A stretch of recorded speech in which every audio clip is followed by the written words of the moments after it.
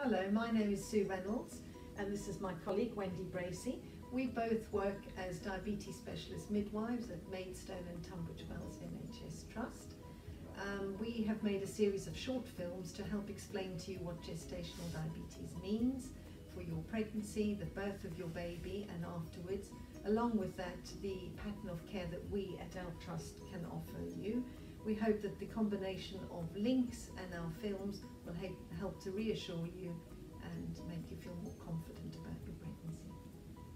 It can be quite overwhelming in your pregnancy to get the diagnosis of gestational diabetes and to be very mixed emotions, angry, upset.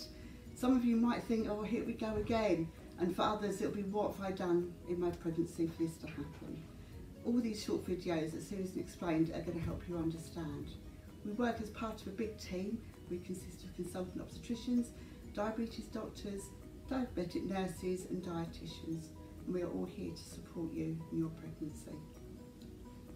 Our gestational diabetes films that we've spoken about will teach you how to monitor your blood sugars, talk to you about what it means for your pregnancy, for labour, for the birth of your baby and after your baby's born, supported as I've said earlier again by links and also contact with both Wendy and myself and members of the wider team either by email or telephone. So we're always here to support and guide you. We hope you look forward to these, enjoy these videos and we'll see you in the next one.